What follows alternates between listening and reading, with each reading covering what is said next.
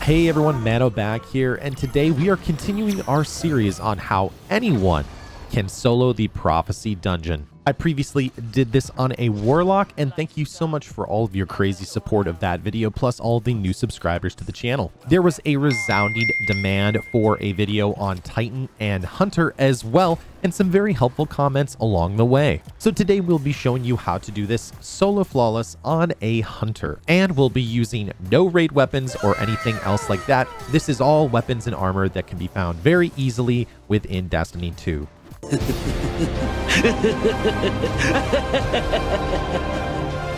Stop it. Yes, indeed, I am using Taken Spec on some of my weapons, but it is not a requirement. You can easily change out Taken Spec for any other mod like Major Spec, Boss Spec, or anything else like that. However, I do need to note that there are hundreds of videos on how to get the Last Wish chests from the raid without actually having to do any of the encounters.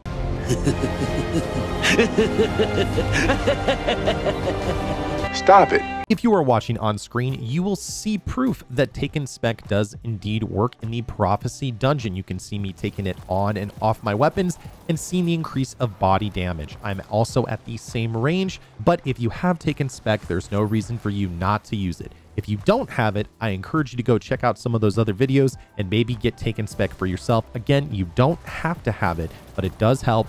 You don't have to do the raid to get it. Just go get the raid chest solo. It's easy. There is no better time to farm the Prophecy Dungeon, even if you decide to do it solo, because the reprised Trials of the Nine weapons are some of the best weapons in the game right now. I'll show you which weapons and gear drop from each encounter, but enough yakking. Let's do this, shall we? As with any character, Warlock, Titan, or Hunter, there are lots of different ways to accomplish the goal of soloing content, and I encourage you to check out some different builds. The builds that I am recommending to you are the ones that I think are the easiest to use and the easiest to master for anyone who wants to solo the dungeon, but there are other builds out there and I encourage you to try those that you think you will be the most successful with. For my Night Stalker build, I'm going to be using the Bottom Tree Night Stalker, which is Way of the Pathfinder. For those people who don't know how to use the bottom tree, essentially the big difference is that you make yourself invisible not by dodging, but by using smoke grenades on the ground. We're going to combine that with the lockdown perk where grenade effects last twice as long, which is great because you can do increased damage for a period of time. But also, while enemies are taking damage, with grenades, it will grant you melee ability energy. So we're going to use these three things together in tandem, just like we were doing on the Warlock. Where We were using the Devour perk and staying alive, but here we're also going to get the additional benefit of Mobius Quiver, where you get to fire a Shadow Shot multiple times and you'll do big damage against tethered targets. So I can use that on the bosses in the different encounters. In addition, I'm going to be using the Omnioculus chest piece. That's going to give me a second smoke bomb charge and also give me damage resistance while invisible, which will help me stay alive. Using these things together are going to be very, very strong. I'll be able to generate lots and lots of smoke bombs, which will keep me safe if I ever need to go into an encounter. I will have a damage resistance buff. I could actually even go in when I'm invisible and do damage to the enemy targets that I need to, which will help me to stay alive. The final part of the build relies on using Gambler's Dodge. When you dodge near enemies, it will fully recharge your melee ability. In the Prophecy Dungeon, we're going to actually use its greatest strength against it. The Prophecy Dungeon has a bajillion enemies in it, right? So we'll be able to pretty much dodge wherever we want and be able to recharge our melee ability anytime. We'll chain that together by using Vortex Grenade, and we're doing damage to enemies, we can actually do combat provision, and we'll get melee ability energy back. When I go invisible, it helps to recharge my grenade ability together. Use that with Omnioculus. It's a great build. For the rest of the armor distribution, it's important to have a couple of different stats, but it doesn't really matter where you get the armor from. I'd recommend that you have a pretty high intellect build as well as high recovery. You should have at least five resilience for your shield capacity. And finally, mobility, usually for hunters, is going to be very high. But in this case, you don't necessarily need it. For those folks who don't know, when you have high mobility, it will help you regenerate your class ability faster. But since we're already using this build together with Gambler's Dodge, the Vortex Grenade, and all of these things together, you really don't need to worry about that so much. So you can either put that into more discipline, more intellect, or anything else like that. If you want to put more into your strength build, you certainly can do that as well, but the same thing applies. Since we're going to be making smoke grenades through using lockdown and combat provision, along with the Omnioculus, you'll be in good shape there. I do recommend that if you've got leg armor, use Void Affinity leg armor. So you can see that this is Void Affinity. That means that the mods that it will accept are Insulation and Better Already. Insulation reduces class ability cooldown each time you pick up an orb of power, which will help you dodge more. In addition, Better Already, your health will begin to regenerate immediately after picking up an orb of power. If your weapons are masterworked, you're going to be in good shape and make lots and lots of orbs throughout this encounter. If you've got the Omnioculus chest piece, I'd recommend making it solar energy affinity because then you can reduce incoming solar damage from combatants. If you don't have Omnioculus, that is okay. You could certainly use something like the Six Coyote to get a second dodge charge and then maybe use the top tree, but you could also continue to dodge more and get more smoke grenades and go that path as well. For the weapons, I'm going to use a similar setup to my Warlock. I'm going to be using a grenade launcher, a sniper, and shotgun in different parts of the encounter. None of these are really, really locked in. You don't necessarily need to have exactly these kind. I do recommend that you get blinding grenades on any grenade launcher that you do have. I'll show you at the final encounter how that's going to work. Sniper rifle, doesn't matter what kind you have. Shotgun, same thing, but I do like having slide shots so that I can run and gun a little bit easier. On the subject of running and gunning, I'm not using Risk Runner for most of these encounters. Instead, to kill a lot of the trash mobs, I'm going to be using Trinity Ghoul, which many people in the comments suggested, and it actually worked out really, really nicely. So good suggestion there, everybody. I'm also going to be using an SMG of any kind of varying quality. Doesn't matter which one you have. For heavy weapons, I'm going to be using three. I'm going to be using a Falling Guillotine. Relentless Strikes Whirlwind Blade is very, very strong, but it doesn't matter that you necessarily have that, just that you have a sword. In the Heaven Hell area, using Black Talon is also really nice as you'll be able to one-shot the Blights. I'll show you how to do that. But most importantly, we're going to be using Sleeper Simulant for our big boss damage for a couple of different reasons. Number one, it's not a raid weapon. So for example, 1000 Voices is very strong this season you don't have to pray to RNGesus that you're going to go into the Last Wish raid and pick it up. You can go get the Sleeper Simulant from the exotic kiosk right now, as long as you have an exotic cipher and some materials. If you don't have one, look in the season pass, as you might have one lying there and you may not know about it. In addition, if you don't have one, you can go talk to Xur, complete his exotic cipher bounty, and you'll get one for that weekend. The reason why fusion rifles and linear fusions are so strong is because this season, uh, the particle deconstruction mod exists where you deal damage to a combatant with a fusion rifle or linear fusion rifle. It will grant you bonus damage with a fusion rifle or linear fusion rifle, and it will stack up to five times. Slap that on a class item, and you will be good to go for some serious boss damage. Let's get into it. The dungeon itself. This opening encounter shows you how to do the light and dark mote piece, which is the key to this entire dungeon.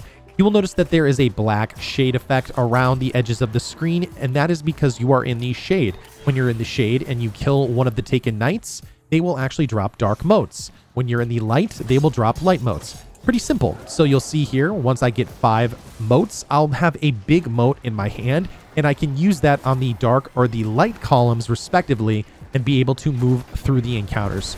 For most things, you're going to need light and dark modes, so having control of those different areas and understanding how those effects work is going to be very important. You can see here on screen, there's like a white effect at the bottom of the screen. That shows you that I'm going to get light modes if I kill the Taken Knights. For this opening encounter, you need one dark and one light for the two sets of doors, but I'm going to show people how to skip this encounter if they so choose. If you decide to skip the encounter, I do recommend that you have whatever heavy weapon you are planning to use, whether that's the Salvation's Grip grenade launcher or a sword, and you go to a public space, probably a patrol area, and pick up a flag so you'll have full sword or grenade launcher ammo then you can go ahead and load into the Prophecy Dungeon and you will have full heavy ammo when you go in. For the Sparrow Skip, you're going to step up on the first globe, take a jump, and swipe a couple of times. You're going to take a small little mini jump. As soon as you do that, take out your Sparrow as quickly as you can, and then pull back on your joystick or push backwards on your keyboard. By doing that, that will get your Sparrow to move forward, and you'll need to get enough momentum to go forward through that. It takes a couple of practice runs to get it right. I'm going to show you the Salvation's Grip skip on my Titan, but you can do this on a Hunter as well. In place of Lion Rampants, just use Stompies if you've got that. And what you're going to do is use a charge shot and make a stasis grenade ice platform that you can just jump onto. It is a little bit tricky and it is a little bit dark when you do this. You just need to be very, very careful as you move up. It's a little bit hard to see, but you should be able to move up really quickly if you get used to doing this. I had to take a couple of different tries to build all the platforms that I needed to do to get up there, but once you get used to it and you know what's coming, you'll be in good shape. And finally, since I didn't show it in the Warlock video, I'll show it in this one. You can use Heat Rises with Top Tree Dawnblade, hug one of the two sides of this tube, and you will basically just lift right up to the top. It's very simple. Once you figure out how to do it, it's very, very easy. In any case, you need to make sure that you get up to the main platform to spin the rings for the first main encounter. If you don't get that respawn restricted and you die, you'll actually soft lock the encounter. So make sure you get to that area so that you can go over and set the flag and get going. This encounter is the same as opening the doors, except that there are a ton of things trying to kill you. You'll see the four columns of dark and light respectively, and the Taken Knights will spawn up, and there is a boss in the middle with a shield around him. What you need to do is clear all of those light and dark columns. As soon as that happens, the shield on the taken phalanx drops and you can do damage. And once he's dead, you can move on. My main strategy as a hunter is going to be depositing the motes when I am invisible or guarded. So right here, I'm going to use an invisibility grenade. I'll be able to pick up all the motes and they won't even shoot at me. You do need to be careful because they will shoot at the area where you were. So just be careful. Once you've got the motes that you need, you can go ahead and dodge next to any of the enemies, recharge your smoke bomb melee. You can still do that when you're invisible and you're good to go. So right there, I picked up all the motes I needed and I was invisible. Make sure that you use your class ability before you pick up all of the motes that you need to get the big mote because if you use it while you have your big mote, the big mote will disappear. The great thing about doing this strategy is you can engage the enemies at your tempo, not theirs, so you don't have to run around the map praying that you won't die. In addition, you can see here that my melee is recharging as grenade damage is being inflicted on the Taken Knight. Every time I use a smoke bomb, my grenade comes back. You can see that from that charge, not only did I kill the Knight in the dark, I also was able to get a lot of my smoke bombs back. So right here is an example of where I will actually hide. I'm not using my class ability or going invisible because I don't want to lose that giant mote. As soon as I clear that dark or light column respectively, I can deal with the rest of the ads and rinse and repeat for all of the different columns until I'm ready to do damage to the boss. Now, there are a lot of ads in this encounter, but they are easily dealt with. What you can do is get a single shot with your Trinity Ghoul, and then as soon as you do that, you can shoot your bow wherever you want, and it will chain arc energy all over. You can see that in a matter of seconds, I destroyed all of those different ads. I can also use that to stun some of the Taken Knights and also hit them from a distance. When I'm ready, I can pull the ads on over, dodge, get a smoke grenade, move to a different position. Say, for example, if I need to be in the light or the dark, respectively, I can then go invisible and pick up the motes and move to the location that I need to. If I want to, I can actually use the grenade energy to knock out the knights as well. As soon as you get all of the columns cleared, the Phalanx's shield will drop and you can go to town. I use my tether here. You do need to be careful because he usually is able to boop you off a couple of times, especially if you're using your tether. And this is where you want to do all of the damage that you possibly can. Try to get around his shield and then build up Whirlwind Blade times five if you've got that on your sword to do massive damage. I do find that it takes about two rotations of this. However, about halfway through the damage phase, there will be a bunch of Taken Vex goblins that you'll need to knock out because they'll shield the damage. Also, if you don't kill all of the ads from before, they will keep on spawning up with the exception of the Taken Knights as they will despawn. I was able to do this in two rotations of the boss. Do be careful because he can knock you off and he can continue to do damage to you at this point.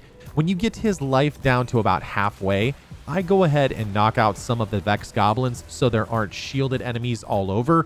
And then that way I can move around the area, figure out what I want to do next, and start to get ready to do damage to those Taken Knights as well as any other ads that are on the field. I also take an opportunity to look at the light and dark columns. They won't always be two light and two dark. Sometimes they'll be three dark, one light, you have to look at the combination and then adjust your strategy accordingly. Again, while you're invisible, you can take a look and be like, okay, that's how many I have to get and move on from there. Rinse and repeat and you're in good shape. If you want to get really fancy and do a speedrun strat, I'm going to show that to you right now. I actually showed this over at my stream on twitch.tv slash manodestra, where I help out tons of people in doing exotic missions, dungeons, raids, Grandmaster Nightfalls, and even more. You guys want to see something cool? See if I can get it with my hunter. It's a little tricky with the hunter. It's a fancy trick, but you don't have to do this if you don't want to, but it is a cool speedrun strat that I wanted to show off. In any case, you're just going to rinse and repeat this over and over and over again. If you need to go pick up motes and you want to stay safe, go invisible by throwing a smoke grenade, dodge near enemies so you make sure you stay alive and you get your smoke grenades back, do damage to the boss as much as you possibly can, and if you're worried about getting bumped off the edge by the taken phalanx, just make sure that you have some sword ammo and a jump ready to go. He can boop you off the edge, but you can just jump and sword swing back and you should be in good shape. Do all the damage you need to do to kill the boss and you are done with the first encounter. For the rewards for this encounter, you can get legs or class items. You can also get the Judgment Hand Cannon and the Long Walk Sniper Rifle. The rewards from all the encounters are completely RNG, so if you find yourself getting repetitive drops, don't worry, you're not locked into anything like I said originally in the last video. It is just completely RNG. If you keep getting legs or class items or snipers, just keep farming until you get the thing you want. All right, next up we have the Heaven Hell area. Just go ahead and hop into the sand area in the center, and you'll be teleported into this large blue-white desert plain type of thing. To find the secret chest, grab your sparrow and go to the left side. Ride the left side of the entire map. You'll find a structure that has three small little towers on it, and there will be a bunch of yellow dust on the ground. It will give you a different roll of a weapon or piece of gear that you've already obtained from the dungeon. So if you've gotten the shotgun, you will get another roll of the shotgun, potentially, but it cannot give you anything new that you have not yet acquired from the dungeon. There's going to be an invisible taken boss right next to you when you come out, so just be careful on your way. To move forward in the dungeon, you have to find the three Blight locations and then destroy them and move Toland, who is that ball of light over on the right-hand side. You basically need to clear all of the desert area of all the blights that spawn up. What I do is kill the snipers and then move over to the blights to do damage. Here's a special trick that the comment section helped out with this. You can actually sit on top of the taken blights and not take any damage whatsoever. Do be careful because the enemies that are on the ground can actually still damage you, but the blight won't actually hurt you. So what I do is kill the snipers and then jump on top of some of the blights and knock them out. Again, like I said before, as soon as all three blights in the area are destroyed, find Toland. He is going to be that white ball of light, and he's going to actually show you the direction of the next three blights that you need to clear. Grab your sparrow and head in that general direction, and you'll be able to find the next blights. Do be careful because there are some invisible taken bosses in this area, but you can skip them altogether. Don't waste any ammo on them whatsoever because they will continue to respawn.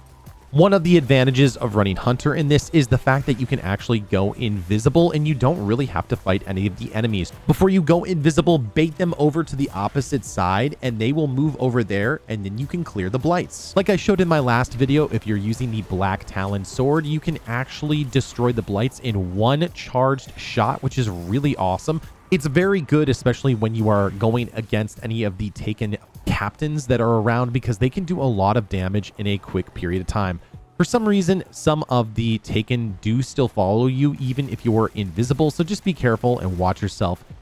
You're going to find three sets of three blights apiece and find Toland three times. Once you've done that, it will say the way is open on the left-hand bottom side of your screen, and then you're going to head over to the area where Toland is sitting. If you're looking for another marker, look to the right-hand side. If you're over here, you will see a pyramid off in the distance. That's actually from Mercury originally. But if you go to the left of that and hop on your Sparrow and go past any of the taken bosses, you will see Toland aiming at a stairway, and that's how you get to the next encounter, the Hexahedron. The hexahedron encounter is almost exactly like the last encounter. There's a bunch of enemies trying to kill you and you need to deposit motes, but the question is where? You are going to follow Toland, aka the big giant ball of light, around the room. When you enter the room, you'll notice that there are six circular plates throughout the area, six for the hexahedron. what you're going to do is look around for Toland on the walls and on the ceiling. If he's on the walls, look for the column of light or dark underneath where he is, and that's going to tell you what type of mote you need to deposit. So in this case, there is a dark column underneath where Toland is. I need to get dark motes. How do you get dark motes in the first place? Well, what you need to do is kill any of the taken hobgoblins that are set up all the way through the map. So here's one for example. Kill him and that will spawn a taken knight somewhere randomly in the room. Kill the knight in the lighter the dark areas and they will drop the motes, just like the last encounters. Once you've got the big giant mote, head over to the area where Toland is marking the column and deposit the mote. At that point, all of the knights and the hobgoblins should despawn, but the additional enemies won't. So you do need to make sure that you're playing your life in this area as the enemies can and will kill you, especially if you're trying to do a flawless run here. Knock them out before you go into the next part of the encounter. Now, there are going to be six phases of this, and every room that you go into is going to be just a little bit different, but the process is exactly the same. You need to dodge and weave through all the different enemies that are trying to kill you. Again, using this build and being invisible is a really good way to do it. So right here, I'm invisible. None of the enemies can actually attack me. I'm in good shape. Using Trinity Ghoul here is amazing as well as the same basic setup as before. I just use a sniper rifle to take care of the taken hobgoblins and that's really the only change I make from the last encounter. Now, sometimes Toland is not on the walls. Instead, he is on the ceiling. If he is on the ceiling, you can choose whatever column of dark or light you want in the room. Just make sure that before you actually start grabbing motes in this scenario, that you look around and actually see the columns of dark and light in the room. I have had it where there has been four dark columns and sometimes where I've had four light columns. Just look around and see what you have available. You don't want to pick up all dark modes if all of the different columns are all light. So just look around and you'll be good to go. Staying alive in this encounter is nearly the same as the other one. You can go ahead and pop grenades and use those to damage any of the enemies and then dodge around them, get smoke bombs, go invisible, and go invisible whenever you need to. There's no reason to rush the encounter. You can definitely take your time on this phase. The big thing is that the snipers are pretty relentless and they have excellent aim, so using cover in this encounter is a very good idea. Once you do that five times, you'll go to the sixth and final room. When you do that, you'll have two taken bosses that you'll have to knock out. The final boss room is always the same. It's always going to look like this. And to be honest, these two bosses are pushovers. Just watch out for the ads. Use your tether when you need to on the first couple of bosses. Use your sword on the final boss, and you're going to be set and done with the hexahedron encounter. The things you can get at this part are arms, the last breath auto rifle, and the swift verdict sidearm. Once you've picked up your rewards, turn around and head back the way that you came. You'll end up back in heaven and hell, and you're going to follow the Kell Echo over into the Ribbon Road area. Basically, all you need to do is head off to the right-hand side, and he will bring you to the next staircase that you'll need to go up to into the Ribbon Road. So now our next objective is to head down to the Singularity Pyramid off in the distance. There's multiple ways to do it. We can take the ribbons or we can follow these platforms here all the way down. If you don't feel comfortable sparrowing your way down, you can actually make your way through the platforms. Do know that there are some enemies all the way around there, so you'll have to be careful and it does take much longer. But for those people who don't mind a little bit of danger, go ahead and hop on your Sparrow and go down one of the ribbons. You don't actually have to boost on your way down here, and some people actually Sparrow fly all the way around to the bottom of the Singularity. But if you're running Hunter, there's some easy ways to keep yourself safe during this part. Running Stompies is going to be really helpful in case if you need to get a little bit of a higher jump, but also having a sword equipped will allow you to maybe sword fly over to the ribbons in case if you fall off.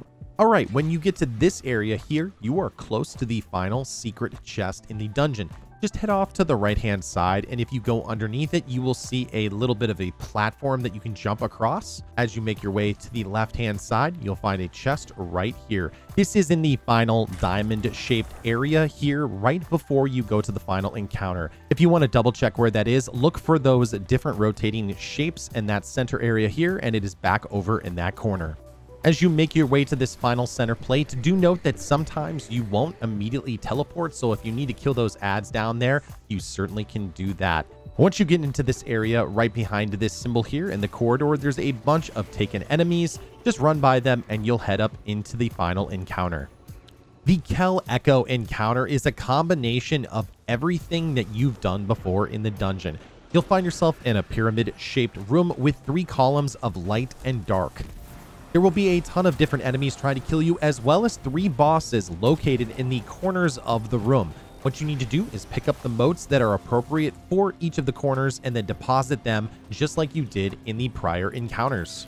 The Taken Psions will spawn almost infinitely in this encounter if you let them, so Trinity Ghoul is an amazing weapon to use again. You don't actually have to hit them directly, you just have to kill one with a normal shot, and then you can destroy all of them using the Charged Arc Lightning Rod attack.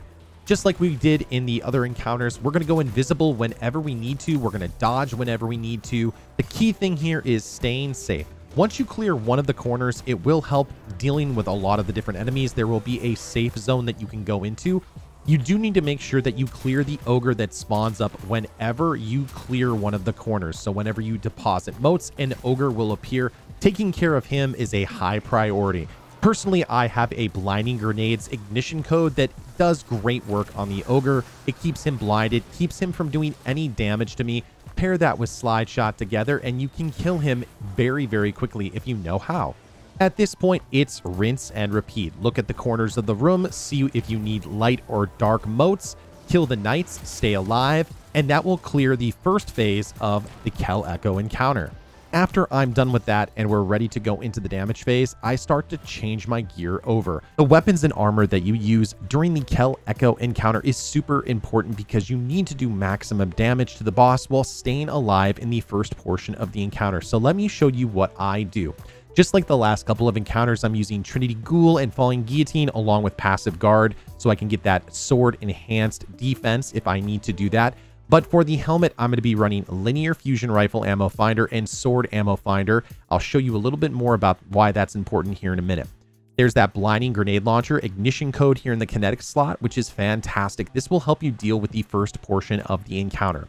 When all of the corners are cleared, I'm going to start switching my weapons and gear when I am ready to. There are going to be psions that will be spawning up constantly, so you need to make sure that you have weapons to deal with them so you don't die. So I'm going to switch to my sniper rifle really quickly, and then I'm going to switch to my particle deconstruction cloak. That's going to be really important because when I eventually do change to sleeper simulant, I will be able to make sure that I get that particle deconstruction for fusion rifle extra damage.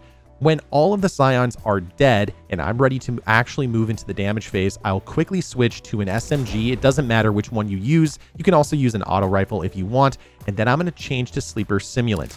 At that point, I'm going to run around the room in the first portion of the encounter and look for heavy bricks. Make sure that you have linear fusion scavenger on as well as linear fusion reserves, and then you'll be able to go around the room and get tons of ammo. If you don't feel comfortable ready to go into the boss room or you don't see a ton of heavy bricks, you can infinitely farm the Taken Psions as they spawn up pick up any of the ammo that they drop, and only when you're ready to actually go into the second phase and damage the boss, that's when you switch all your gear around. You can see here on screen, I'm looking for any other ammo I can pick up. I'm not going anywhere near that middle. I'm looking for more sniper ammo, so there's a little bit more right there. And only when I'm ready will I actually head in there.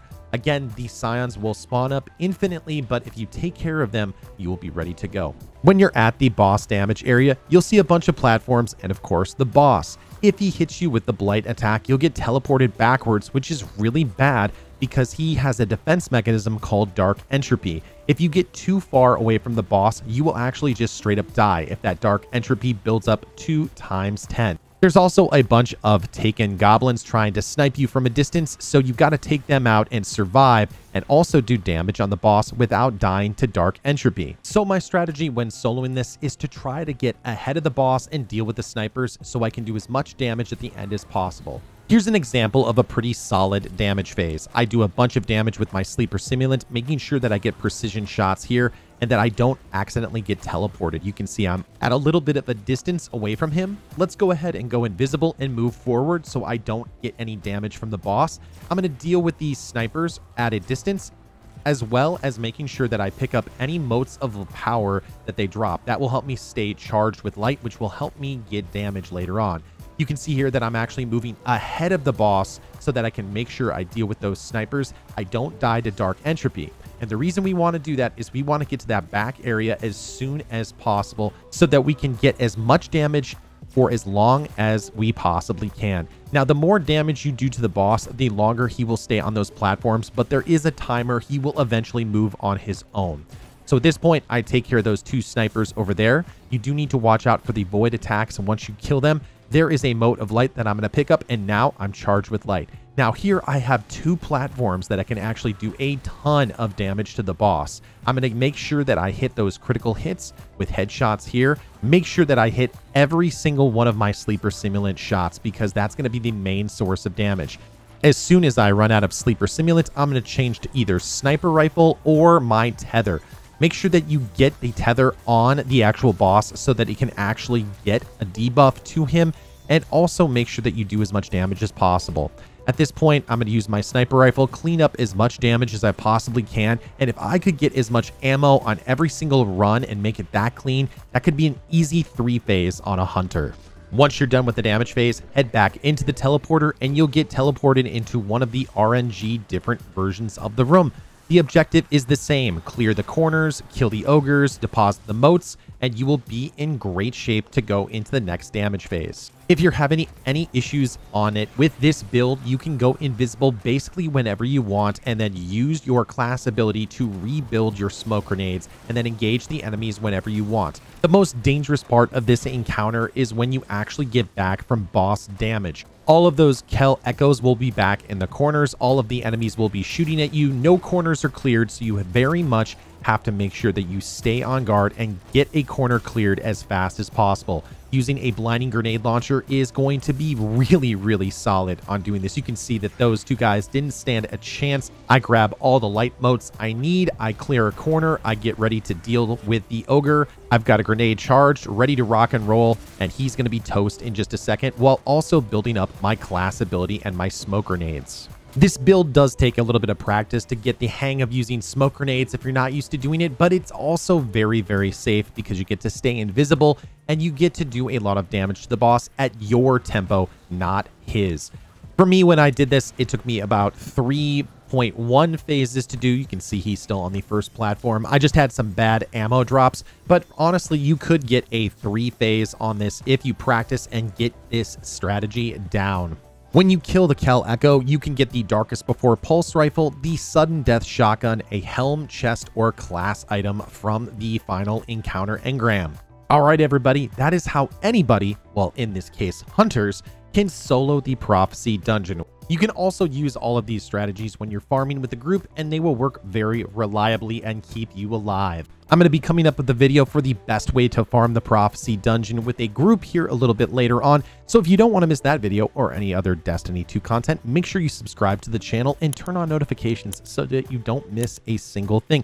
If you liked or learned anything from this video, a positive rating is greatly appreciated. Leave a comment down below and let me know how you're going to go through this encounter if you're on a hunter. Titans, you are next. I'll have a guide for you here in the next week or so as soon as I get some time to edit. And also make sure you stop over at the stream, like I mentioned earlier, twitch.tv slash manodestra. If you need some more help on these dungeons, raids, grandmasters, whatever, we have a great time over there and we'd like to invite you to come along with us. Good hunting, Guardians. I will see you next time in the universe of Destiny.